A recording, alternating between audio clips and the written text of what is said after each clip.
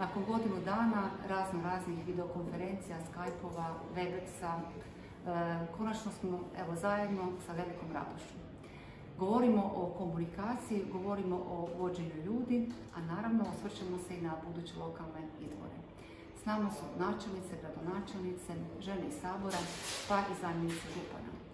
Ono što mogu reći svoje uloge, ja sam zamjenica župana koja obnaša dužnost županice i sada sam jedina u sazivu zato što nemamo ni jednu ženu na tom rukovodećem radnom mjestu.